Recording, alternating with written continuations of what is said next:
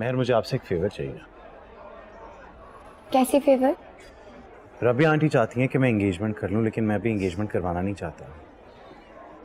देखें खान अंकल बीमार हैं और जब तक वो स्टेबल नहीं हो जाते मैं कोई खुशी मनाना नहीं चाहता। वो और अम्मो जान बिल्कुल मेरे पेरेंट्स की तरह हैं। क्या आप इंतज़ार कर लेंगी? बस इतनी सी बात है।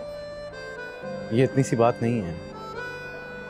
जिन लोगों ने कभी आपको अपना ना समझा हो आप अपनी खुशी उनके लिए क्यों बर्बाद करेंगे? शहरोज वो मेरे भी फादर हैं। जितना इस एक्सीडेंट का दुख आपको है उतना ही मुझे है। लेकिन आज आपका ये बिहेवियर देख के मुझे बिल्कुल यकीन आ गया है कि आप मुझे कभी भी चीट नहीं करेंगे। आज से पहले कभी आपको डाउट था? नहीं बस किसी ने ये शक मेरे दिल में डालने की कोशिश ज़रूर की थी। किसने? फारिस?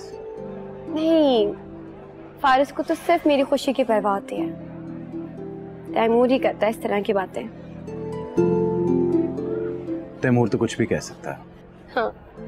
एनीवे anyway, मैं वीकेंड पे दुबई जा रहा हूँ।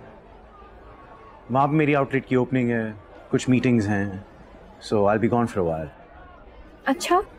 और फिर वापसी? कोशिश करूँगा जल्दी आ जाऊँ लेकिन महीना भी लग सकता है। Why will you miss me पता नहीं।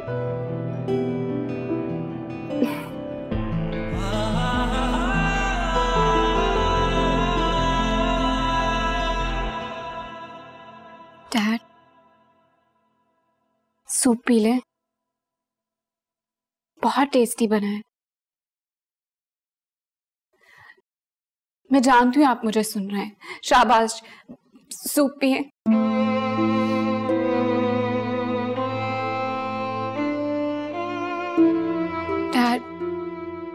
आप सुन सकते, बोल सकते, मूवमेंट कर सकते। तो आप अपनी विल शो क्यों नहीं कर रहे?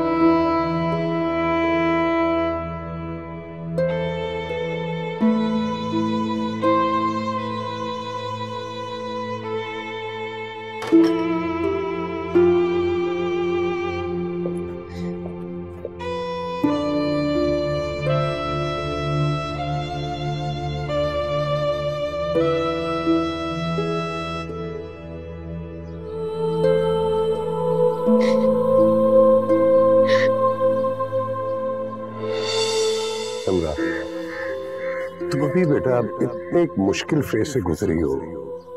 मैं तुम्हें अकेले यूके कैसे भेज सकता हूँ?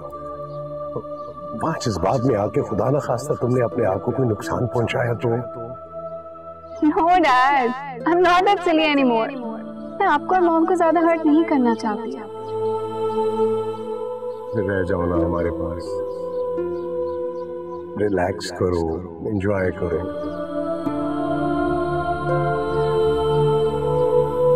तुमने मुझे एक मरतबा रोका था ना?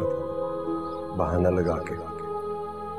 मुझे मुझे घर से बाहर भेज दिया था और फिर वापस बुला लिया था। है ना?